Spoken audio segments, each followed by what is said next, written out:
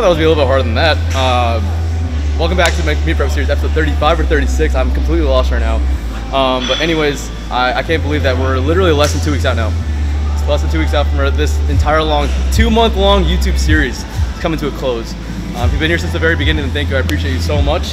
If you're new, you got to make sure to catch up all the way through because I got a lot of content out for you guys. Anyways, today I got RPE 7, seven and a half singles. I just did 252 and a half, 555, 556 pounds. And honestly, I didn't have too much hype behind it. Didn't get like too hyped up. Um, honestly, it felt like light on my back. I feel really, really good today. The energy here is great, uh, not too overwhelming. And honestly, I feel like I could have squatted six today. I'm really happy about. Like my standards are really good. My knees are locked. My depth is great. And honestly, I'm really excited for, to put everything together on the platform. Um, today, I have to do, I think, 177 and a half or 175 on bench. So I'm gonna take commands on that and then go from there. So let's wrap the squats real quick and then head on to bench.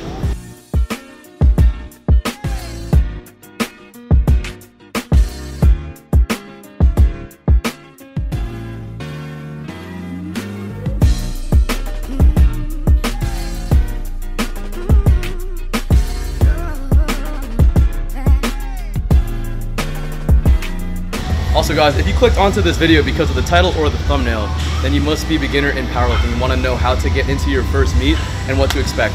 Basically throughout this entire video, I'm going to talk to you guys why I think you should powerlift, what to expect in your first meet, and how to do very, very well so you don't bomb out of your first meet. Clickbait. Let's go. Alright guys, it looks like I know what I'm doing with my leg on the chair. That was just a crotch shot. Yeah, I know. All right, guys. So, first piece of advice when going to your first meet: never worry about making weight. Never worry about cutting weight.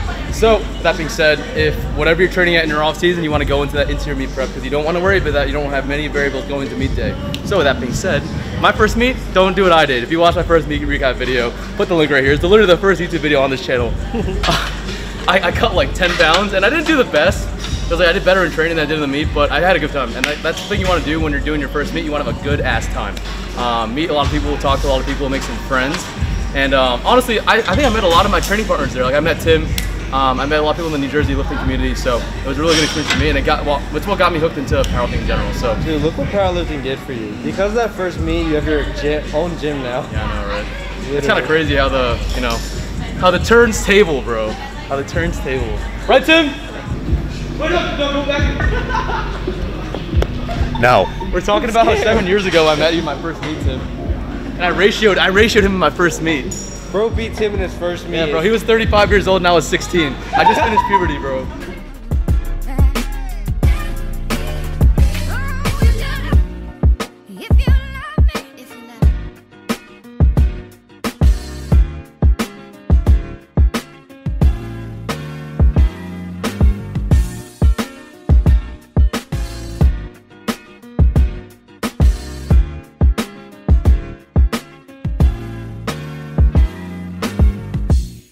All right, guys. So honestly, the most important lift uh, during the meet is the squats. It's the first one. You want to get out of the way. Make sure you sink every single one of your squats. Make sure you listen to all the commands. If you don't know any of the commands going into your first meet, you are definitely gonna bomb out. Like that is like probably the most important thing because if you don't abide by the rules, then you're gonna get reds for every single one of your lifts. So you have to know all the commands, like what to bring into the meet, like your clothing, everything like that. So uh, be well prepared to that. Um, I'm pretty sure Game Day has a video about the rules and regulations, so I can link that somewhere in this video too. Um, I think I had to. It had like 10,000 views on it too. It's on yeah, Tim's it's page. A good video. Yeah, it's a good video. So with that being said, make sure that you watch or follow all the rules going into the meet and know them and like know to wait for any command, know like uh, when to go up on the platform. And obviously, you need to have a handler. That's probably the second most important thing. If you don't have a handler or a friend helping you out for the entire day, you are fucked. Like honestly, having a handler takes out like 10 times the amount of stress than, than you're, you're doing. You want to focus on lifting the weights only, and you want your handler to take care of all the little important shit around you. Okay. Also, uh, how do you deal with the squat nerves for the first meet? It's the first lift. I think it's your most lift, nervous lift. For everyone, yeah. Honestly, squats like legitimately, if, if you miss your first squat, like legitimately the the nerves, the anxiety, everything just races towards you because like now you're at risk of bombing out, and you just started the meet. You need to start the ground off like um, with a, on the on the good side on the good side. So like if you don't if you don't open up like conservative, if you don't open up like something that you know you can smoke, then you're gonna be fucked. Because like then you'll be overthinking everything, be a lot stressful going to the rest of the meet. So uh, my biggest piece of advice for squats is open up conservative for your first meet. Um, like I said, you can take bigger jumps or take jumps accordingly, but if you open up way too heavy, then you are screwed. You do not want to go into a meet go to a meet like missing your first two squats, missing your first three squats, because then you're kind of screwed for the rest of the meet. So now I got bench. I have to do a single today. Uh, I'm gonna do all my three commands, and I'll talk about the bench commands after I'm done with it. Let's go. Fail or miss? It's going in the video.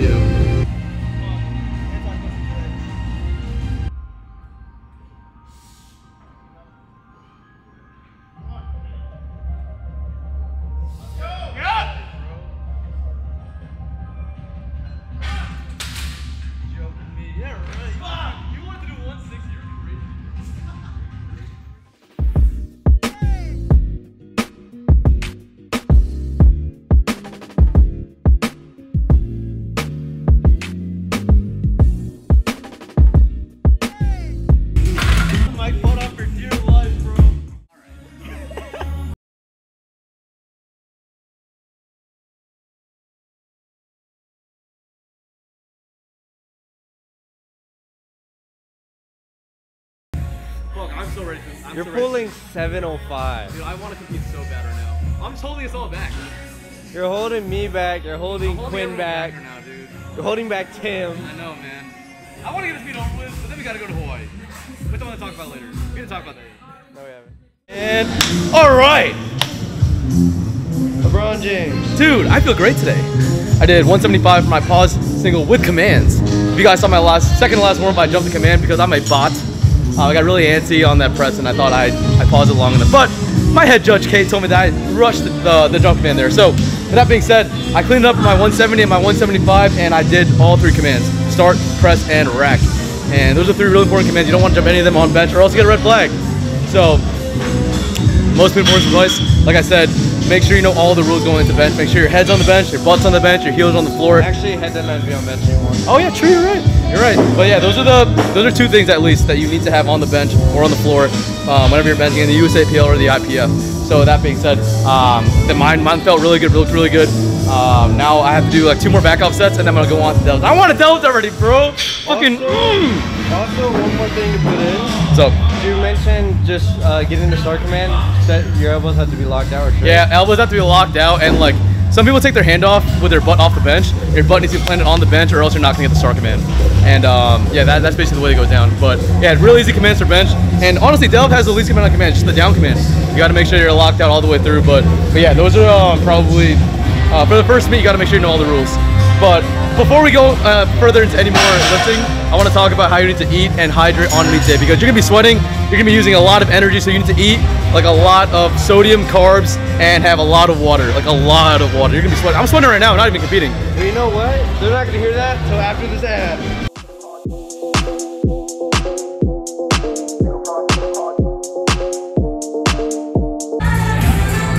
I'm my entire audience on the J pop. Yeah, put us on, bro. What turn you on.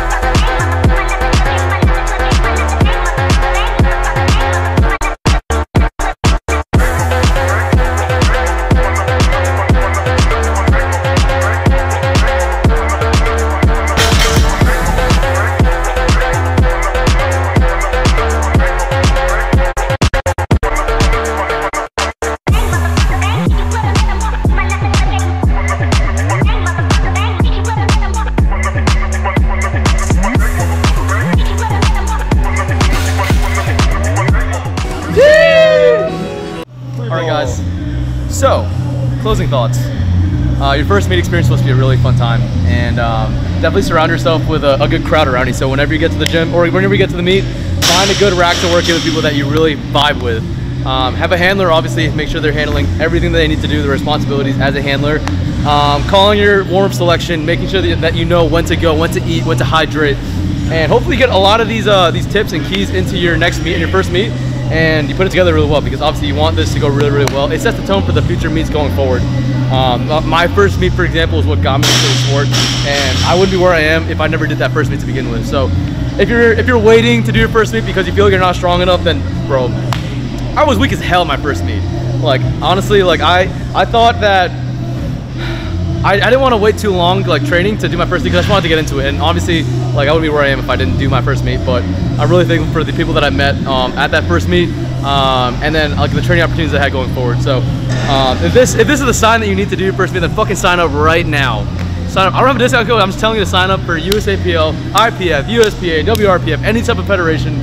As long as you're doing a powerlifting meet, then I'm fully supported. But yeah, this is gonna be the closing part of this this portion of the video. So I'm excited to uh, continue the rest of my day. Today I'm going to watch my client's concert. My client Mike from the last video.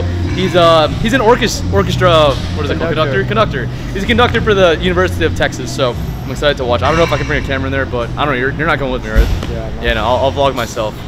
And, On uh, the phone, bro? no, bro, I'll bring the A7. And I'll figure it out. But this is the closing thoughts on the first meet experience. So if you guys have any comments or anything, let me know down below in the comment section. But if you're still watching this video, leave a like, leave a subscribe, and join the Discord. If you're not in the Discord, then you're missing out on the opportunity to get discounts, early access, and meet awesome people. Join the Garden Discord. Link in the description down in the bio, down here. All right, let's go. Welcome back to the next part of episode 35 of the Meet Prep series. Today, another different background. We're on the balcony of Jeff's apartment. Uh, I want to wrap up my closing thoughts on your first meet. I mentioned before that I'm really encouraging, very, um, I really want to pressure you guys to, to sign in for that first meet because I really think it's a great experience for everyone to do. So if you're anxious or scared or nervous to do one, then just fucking jump right into it. Please trust me because you're gonna love it. And especially with the USAPL Federation, one that I can, I've competed in myself, I can vouch for them.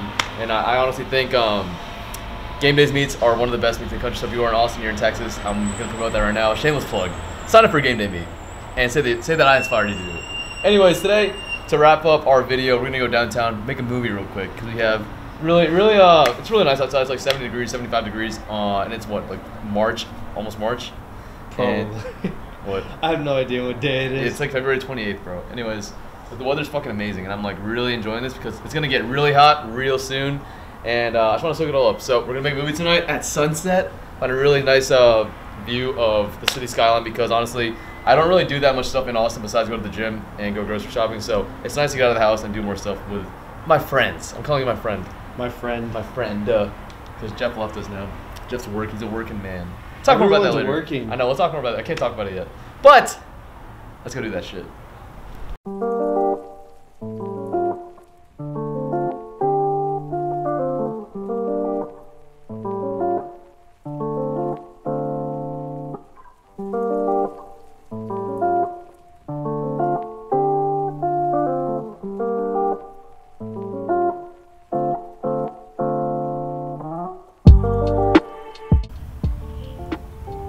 All right, guys. So I thought I'd change up my scenery a lot more than this video because uh, we're approaching the end of our YouTube series, and we're legitimately almost 40 episodes deep into this prep. And I'm like very thankful for everything that I've been supported with this entire uh, meet prep series.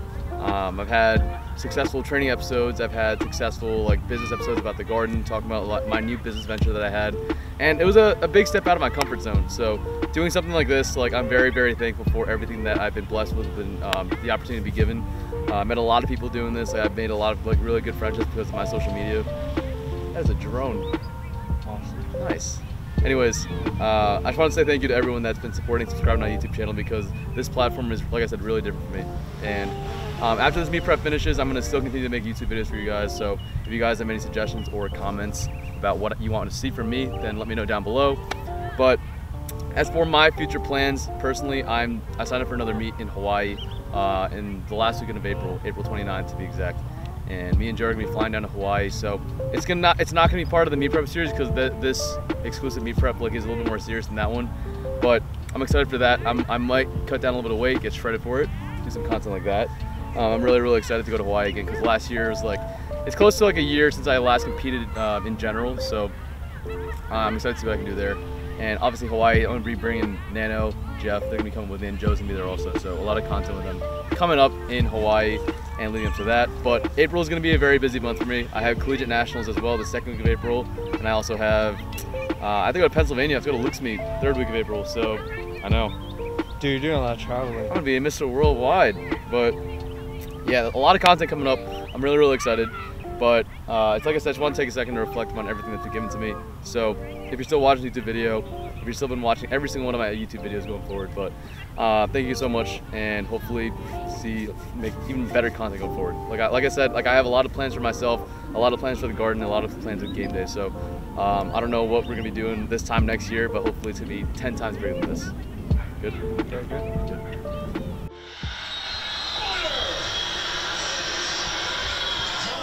Up our day. I'm making dinner for me and Joseph. Making our my good old, good All reliable, bro. I'm making like a chicken thigh, rice, and Japanese barbecue sauce, bro. I'm gonna put you guys on. This is the goat of all. I'm not gatekeeping anymore. There's no more. I told Joseph I was gonna gatekeep this, but guys, this is the best sauce for any fucking type of protein that you're eating. You could be, you could be a vegan. You could be eating beef. You could be eating chicken. You could be eggs. Anything. This is legitimately the goat. Put you on. It's kind of expensive though, like ten dollars a bottle. This tiny shit. So. It's worth. Yo, it's so it's so fucking good, bro. Tell them, tell them right now, vouch, vouch for It's me. It's actually probably the best. I'm not, I, sauce. dude. I'm literally not a good cook, but like this shit makes your food taste so much, especially when you're dieting. Man. We eat the same shit every single day. Every day after training, we just come here and eat chicken and white and rice. we look forward to it. We look forward to it. Actually, this is the only chicken and white rice meal that I could eat every single day. That's actually saying, look at our righteousness. That, that timing, bro. that timing. Uh, right now we're watching NBA highlights. Damian Lillard just scored 71 points last night. NBA is fucking rigged, man. It's crazy. But we're gonna wrap this video pretty soon. I know I'm gonna ask you guys. I'm gonna ask you guys, when you're eating dinner, when you're chilling, when you're, when you're relaxing, what are you watching? You watching YouTube? You watching? You watching me? You watching NBA highlights? Watching NFL, NBA, anything? What do you love? Let me know down in the comments below. That'd be a good comment section for today. That'd be good. Let's play this shit real quick. all right, guys. So we're gonna wrap this video now. Um, it's gonna be a pretty long one, and if you're here all the way to the end, then I appreciate you extra. Appreciate it big time. Um, I already left that comment section uh, thing down below already. So let me know what you watched during your off time, during your dinner time, whenever you're with your, when you're chilling with your TV, um, relaxing. But uh, this is the end of episode 36. Thank you guys so much for watching the entire video. Uh, make sure to leave the subscribe, put the post notifications on, so make sure you see all of my videos for this entire meet prep. Uh, leave a like and leave a comment for your boy, and I'll see you guys in the next episode. Peace.